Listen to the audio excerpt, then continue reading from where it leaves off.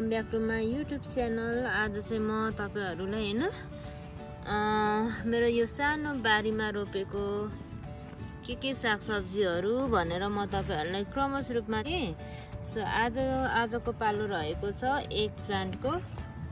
मैले यो जम्मा जम्मा एक प्लान्ट चाहिँ यो लहरै रोपेको छु होइन? चारवटा बोट छ यहाँ यहाँ यहाँ जम्मा जम्मै चारवटा बोट छ। यसरी फलिरहेछ। यो एउटा बोटमै चारवटा फलिसकेको छ। यो मसिनो नि फुल्दै पनि छ फल्दै पनि छ। अनि यहाँ पनि फल्दैछ होइन? भर्खर फुलेर फलि फल लागिरहेछ। अनि यहाँ चाहिँ फुलिरहेछ। फुल चाहिँ टन्नै फुलिरहेछ होइन? फुल लागिरहेछ अनि यो चाहिँ एकदम ठुल्ठुलो हुन्छ। लामो चाहिँ हुँदैन डल्लो डल्लो खालको हुन्छ तर पुरा ठुल्ठुलो हुन्छ। एउटा बोटमा चाहिँ यति फलेको छ यहाँ पनि फलिरहेछ। अनि यो अर्को बोटमा। यस्तो मजाले फलिरहेछ। योभन्दा ठुल्ठुलो हुन्छ। अनि टिप्दै खाँदै होइन? अनि फुल पनि फुल्दैछ यहाँ फुल लागिरहेछ टन्नै।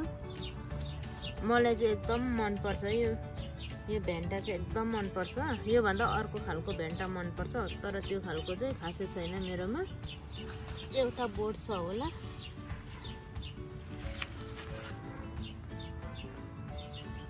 यहाँ चाहिँ यति फलेको छ यो बोटमा अनि यो बोटमा पनि फलिरहेछ।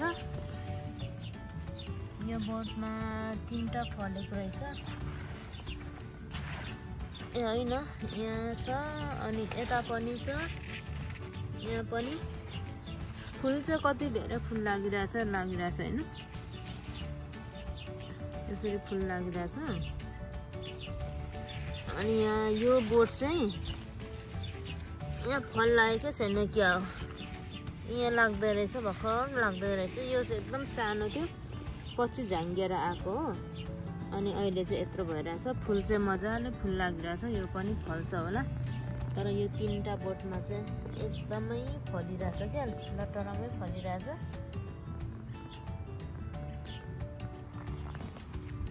अनि यहाँ पनि होइन यहाँ फलिरहेछ यो। यो चाहिँ तर भ्यान्टा होइन खै के हो यो?